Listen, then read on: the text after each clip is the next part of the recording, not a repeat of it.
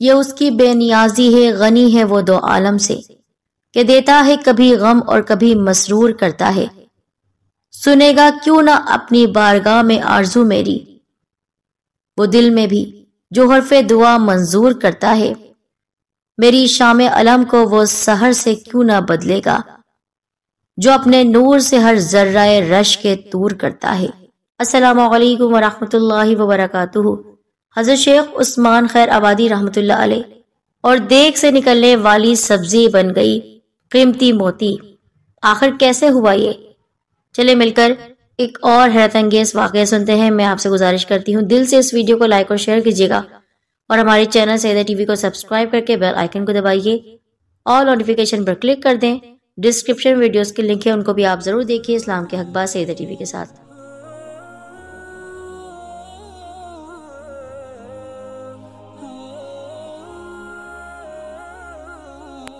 हज़रत शेख उस्मान खैर आबादी रहमतुल्लाह अलैह के बारे में फरमाया जाता है कि वो एक साहिब कमाल बुज़ुर्ग थे, नहायत मुत्तकी और परहेजगार, अपनी इबादत और रियाजत को लोगों से छुपा कर रखने वाले, लोगों को उनके मुकाम के बारे में इल्म नहीं था।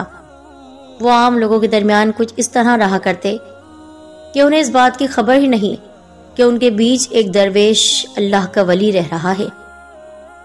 और आपने चूँकि अपनी तमाम खसूसियात को, कमालात को, करामात को लोगों से छुपाया हुआ था, इसी वजह से अवाम की अक्सरियत उनके आरिफाना मुकाम से वाकिफ नहीं थी। और खुद हज़रत शेख अलैह भी यही चाहते थे कि उनके और अल्लाह के दरमियान जो ताल्लुक है वो किसी और पर ज़ाहिर न हो।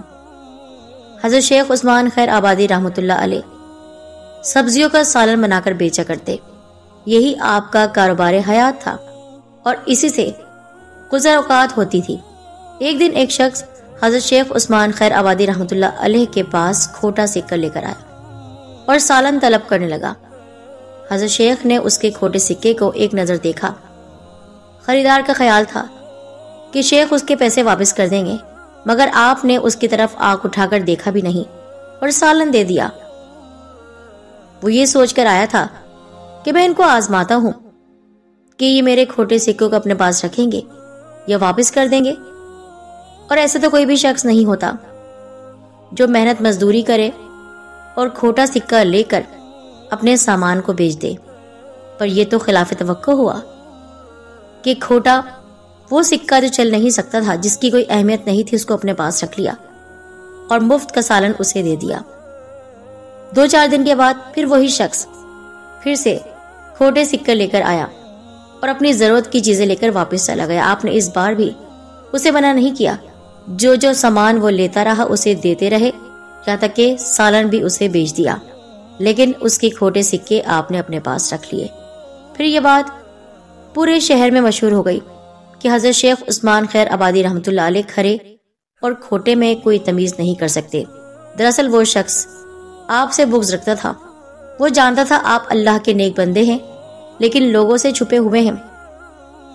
वो जिन मुखालिफिन के साथ रहता था, वो चाहते थे कि आप जो सालन बनाकर बेच रहे हैं और लोग जो आपकी इज़्ज़त करते हैं, आपके खाने को पसंद करते हैं, आपकी मेहनत, मुशक्क़त को दिलो जान से वो अकीदत की निगाह से देखते हैं और ये बात उस शख्स को मंजूर नहीं थी, वो हासिद अपने एक आदमी को वर्गला कर आपके पास भेज कर यह आजमाना चाहता था कि आपको वाकई खरे और खोटे की पहचान है या नहीं, या बस दिखावा कर रहे हैं, जबकि आपने अब तक अपनी कोई भी ऐसी खसूसियत ज़ाहिर नहीं की थी जिससे ज़ाहिर होता कि आप दरवेश हैं।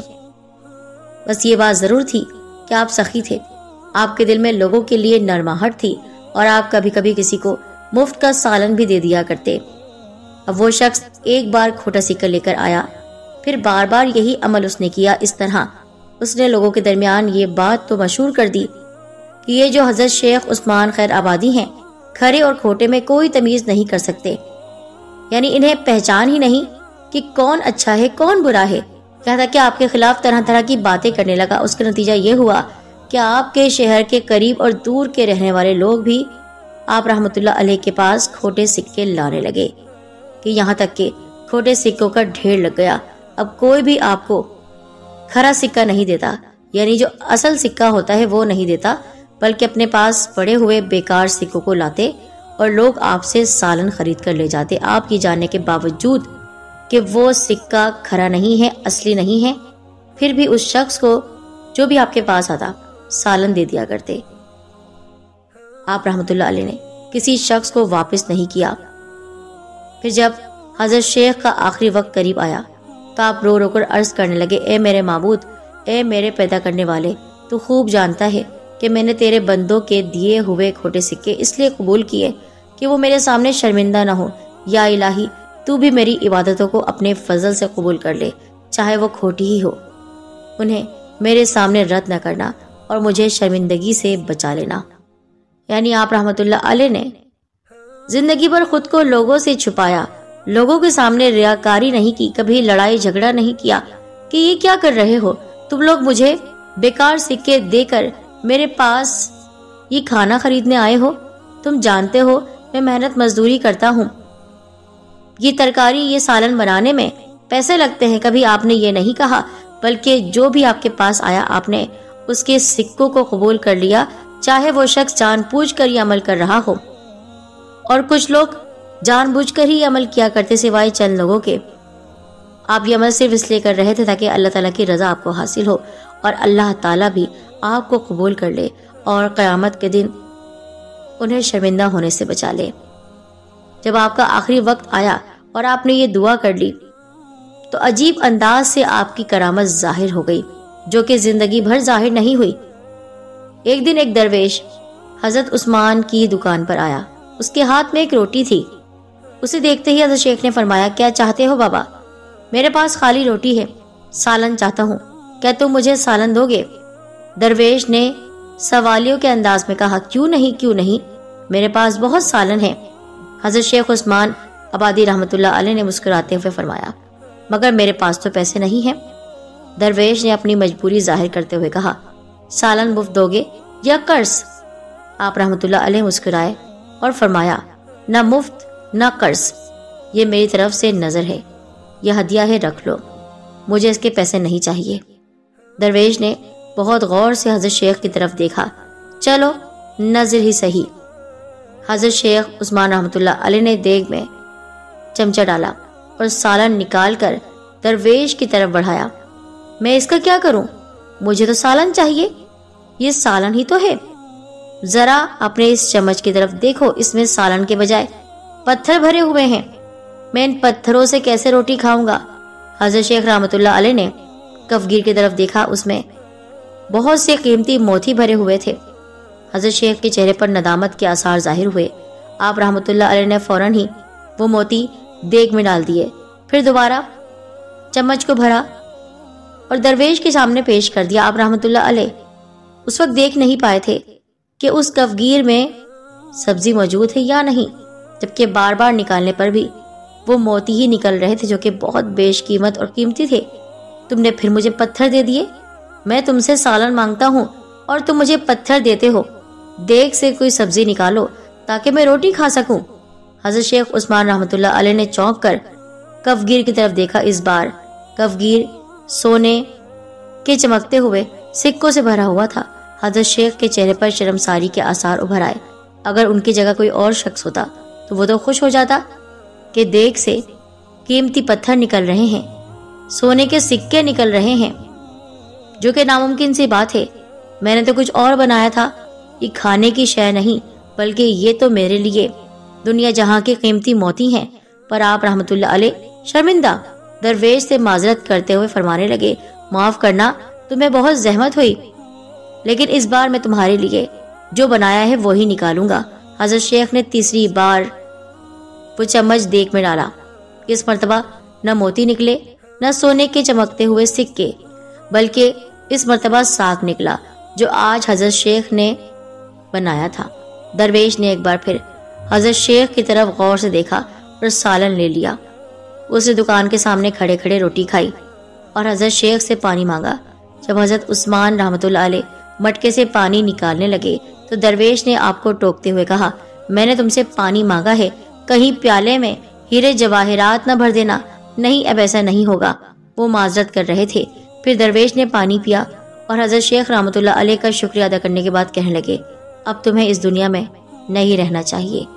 हज़रत शेख ने चौंक कर दरवेश की तरफ़ देखा हाँ अब तुम्हें इस दुनिया में नहीं रहना चाहिए। ये कहकर वो दरवेश तेज कदमों से चला गया।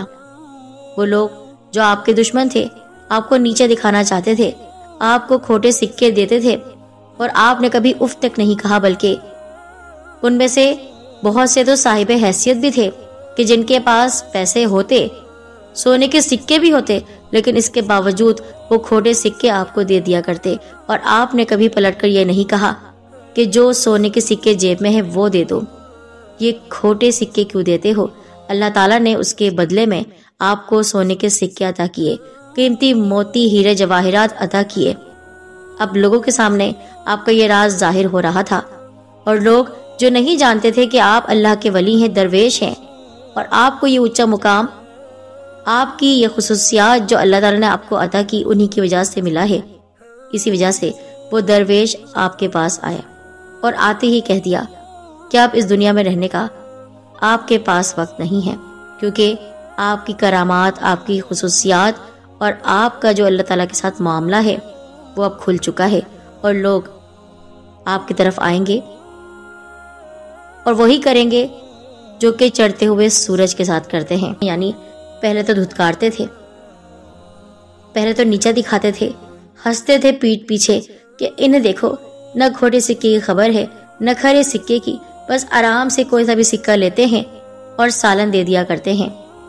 उन लोगों को जब ये खबर होगी कि आप तो अल्लाह ताला के नेक बंदे हैं, आपके पास तो कीमती पत्थर हैं। अल्लाह ताला ने अपनी जानब से आपको बहुत से खजाने अदा किए हुए हैं और वो सब आपके पीछे पड़ जाएँगे। इसी वजह से इस वाक्य के चंद रोज के बाद हज़रत शेख उस्मान खैर आबादी रहमतुल्लाह अलैह का विसाल हो गया।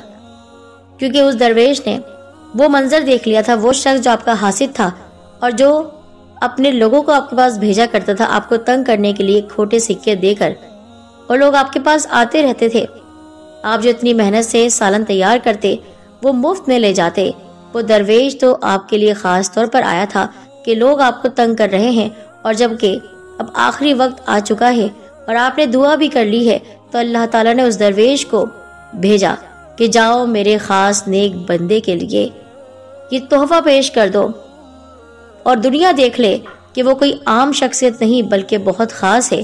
और वो शख्स जो आपका हासिद था, उसने देख लिया था, जब वो दरवेश सालन मांग रहे थे। और आप देख में चम्मच डालकर कभी मोती निकाल रहे थे, कभी सोने के सिक्के तो उसका मुँह खुला का खुला रह गया। वो जो आपको नीचे दिखाना चाहता था। और जानबूझकर खराब सिक्के आपकी जाने भिजवाया करता था। वो ये हैरान रह गए देखकर कि इनके पास ये सोने के सिक्के कहाँ से आए? आखिर, इनके पास इतना माल कहाँ से आया? इनके पास इतने खजाने कैसे हैं? तभी उस दरवेश ने कहा कि अब आपका वक्त आ चुका है? आप इस दुनिया से जाने वाले हैं। क्योंकि लोगों पर आपका राज खुल चुका था और वो शख्स जो आपका हासिद था, वो भी अपना समूह लेकर रह गया। और वो शख्स जो आपसे हसद करता था, आपके इल्म, आपकी इबादत और रियाजत से चलता था। लोगों के सामने शर्मिंदा हुआ, क्योंकि लोगों तक ये बात फैल गई थी कि जिनको हमने खोटे सिक्के दिए, उनके पास तो कीमती मोतियों का ढेर है। और आप रहमतुल्लाह अलैह की वसीयत के मुताबिक वो तमाम कीमती मोती, तमाम सोने के सिक्के लोगों के दरमियान बांट दिए गए। वो लोग जो गरीब, नादार, कम हैसियत थे, मोहताज थे। इसलिए आपका चर्चा अब तक है लोगों के दरमियान आपको कदर की निगाह से देखा जाता है और आपके हासिद यूँ ही जलते हैं और जलते रहेंगे। औलिया कराम से मोहब्बत करने वाले उनसे मोहब्बत करते रहेंगे। अल्लाह ताला हमें अपने नेक बंदों की सोहबत अदा फरमाए और हम भी सरात मुस्तकीम पर चलें। आमीन सुम आमीन।